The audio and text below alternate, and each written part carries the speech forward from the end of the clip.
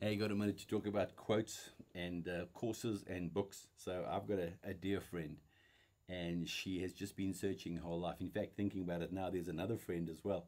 Um, that they spend their life um, getting quotes, going on courses, reading new books, um, going to these seminars, because somehow they believe that the the next quote, the next book, the next guru is going to change their life. And that old saying goes like this: quotes only work when you do. Okay, courses only work when you utilize the courses. Do you know? Do you know how wealthy people actually get in running training courses for people?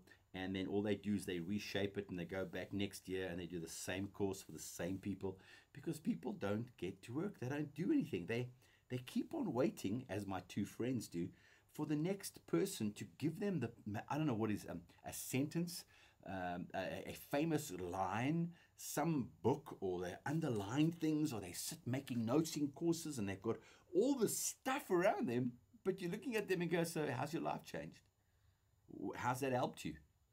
And and they look at you that no, well, you know, so and so is coming to town, and and uh, by the way, as long as the so and so who comes to town has got an accent, because you know if there's an accent, then they must know more than us South Africans. So we'll pen, spend tens of thousands going to their courses and programs and sitting in the front row, and, and they'll put up big movies of, of themselves with Donald Trump and flying away in helicopters and spending time. And at the end of the day, you're looking at the people going, Yeah, but how's that changed your life? No, no, he's coming back with, with the, the next step in the program. When I say about quotes, books, courses only work when you do. You don't really have to go on them you know what to do. Just get to work. Thank you so much for watching. Uh, won't you please um, share this video if it's been of value and maybe it can be of value to somebody else.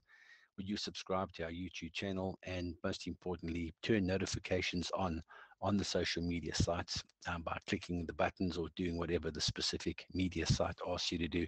Um, just um, like you to get our stuff. I think we're being throttled. So um, really appreciate it and hope you enjoyed it.